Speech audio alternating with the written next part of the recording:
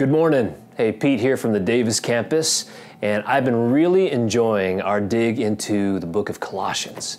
And it's been a great book telling us about who Jesus is, how we can understand and see God, how we can understand ourselves, and then also how to live it out. Let me share with you one of my favorite verses from the book of Colossians. It's chapter 3, verses 23 through 24. It says this Whatever you do, work at it with all your heart as working for the Lord not for human masters, since you know that you will receive an inheritance from the Lord as a reward. It is the Lord Christ you are serving. When I think about the scripture, I understand that we have an amazing amount of freedom in how we live our lives because of what God is instructing us to do. So, again, in the scripture, not only are we getting insight into who God is, but how we are to live this out. And so when we consider the work that we're doing, whether in our daily grind or in the relationships that we're involved in or whatever it is, we should consider that we're working for the Lord, not for this person or that person, not for him or not for her.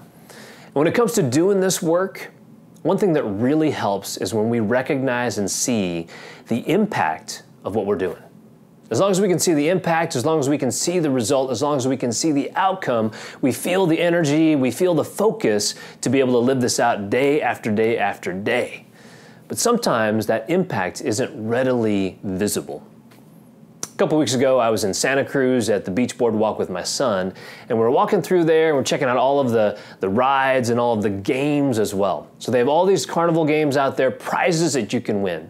And as we're walking through, we noticed that there were one of these booths that nobody was in. There's not a single person there. The attendant looked really, really bored. And so I felt a little bit out of compassion, a little bit from the, the interest that my seven year old had to just, just go out there, walk up to him, and just kind of check it out.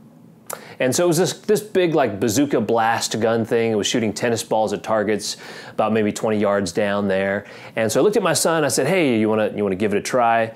He kind of wasn't sure, but then again, I looked at that attendant. I'm like, "Well, maybe there's something we could figure out." So I asked him. I said, "Hey, can we can we see like a demo shot?" He looked at me. He was kind, and he said, "Sure, I'll, I'll give you one shot." I'm like, "All right." So we kind of set things up. I put my son on this this stool, the step ladder and he got up to the bazooka thing, and then he shot that thing, and then boom, the, the tennis ball shot out there. He was a little shocked and surprised by it. To be honest, a little freaked out by it. And so he stepped down and said, No, no Dad, I don't think I want to do this.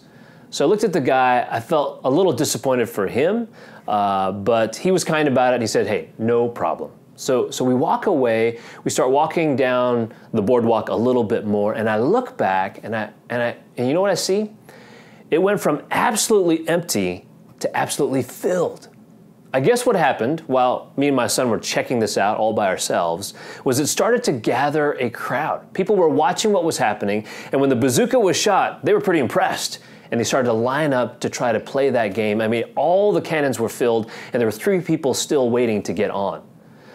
When I think about that situation, what I recognize is we, a lot of times, don't get to see the impact of what even the small things that we do in life has on other people. And when it comes to this life, when it comes to our work, again, in, in, in our daily grind or in our working relationships or in our personal relationships, we often don't see the impact of what happens. But what the scripture teaches us is just keep doing it, hang in there, work us for the Lord, and let God take care of it. In fact, he goes so far as to say, trust that God has an inheritance for you as a reward. So I want to encourage you, I want to challenge you on this day, no matter what it is you're facing, whatever struggle it is, no matter how hard it is, recognize that as you're working at it, work for the Lord, hang in there, and know that God has an inheritance as a reward for you. I hope that was good for you. I hope that was encouraging for you. God bless you. We'll see you next time.